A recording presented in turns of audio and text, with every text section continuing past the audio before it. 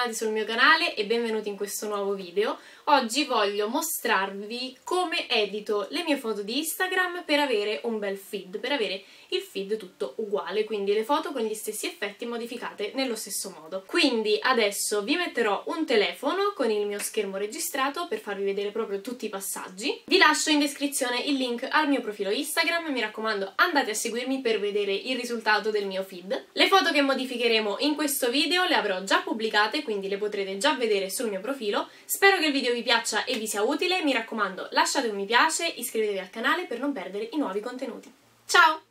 Una cosa molto importante per avere una bella foto è una bella composizione, quindi quando scattiamo la foto, qualunque essa sia, dobbiamo cercare di riempire l'inquadratura, quindi questo è il primo passaggio da fare. Dopodiché andiamo appunto a controllare la foto per vedere se ci sono dei difetti e delle imperfezioni e se ci sono possiamo rimuoverle con l'applicazione Photoshop Fix utilizzando il cerottino, quindi il correttore. Una volta rimosse le piccole imperfezioni della nostra foto, mi raccomando non esagerate con Photoshop perché altrimenti più che una foto corretta diventa un pastrocchio. Io Photoshop lo utilizzo specialmente per le foto ecco, che riguardano il bullet journal, quindi se esco un po' fuori con la penna, con il colore, vado a fare questo tipo di correzioni, ma è raro, è veramente molto raro che io corregga delle foto in cui ci sono io o in cui ci sono dei paesaggi, perché correggere troppo una foto così vera, così realistica, la rende appunto meno realistica e si capisce che è una foto photoshoppata. Quindi mi raccomando, state attenti nell'utilizzo di Photoshop, non esagerate.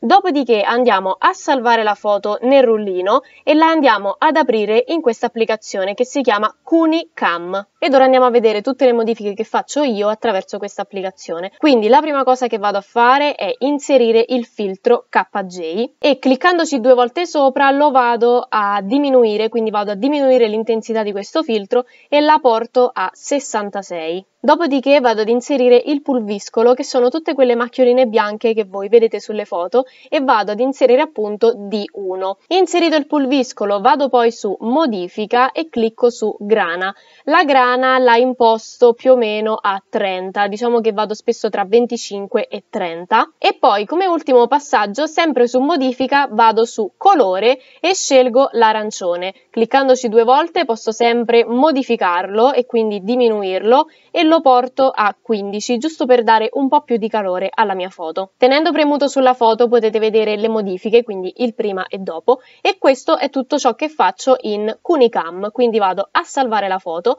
e adesso la vado ad aprire in preview per vedere appunto come verrà nel mio feed di Instagram insieme alle altre foto, insieme ai post precedenti. Utilizzo l'applicazione Cunicam e preview da agosto e appunto da agosto ho sempre lo stesso filtro, lo stesso stile di editing quindi anche cambiando lo sfondo quando faccio delle foto al bullet journal, anche inserendo foto di paesaggi o foto di me, ovviamente tenendo un senso logico, quindi se vado a mettere una foto di me non la butto lì così a caso, ma cerco di fare tre foto differenziate da quelle di prima, tre o sei o nove, insomma cerco di avere un feed armonico. E quindi dicevo anche cambiando il soggetto della foto, utilizzando lo stesso stile di editing e gli stessi filtri, come potete notare il feed resta comunque bello da guardare, resta comunque armonico. Per inserire la foto su preview basta cliccare sul pulsante più e prendere appunto la foto dal nostro rullino fotografico, così potete vederla insieme a tutte le altre foto. E questo è tutto ciò che faccio prima di pubblicare un nuovo post su Instagram.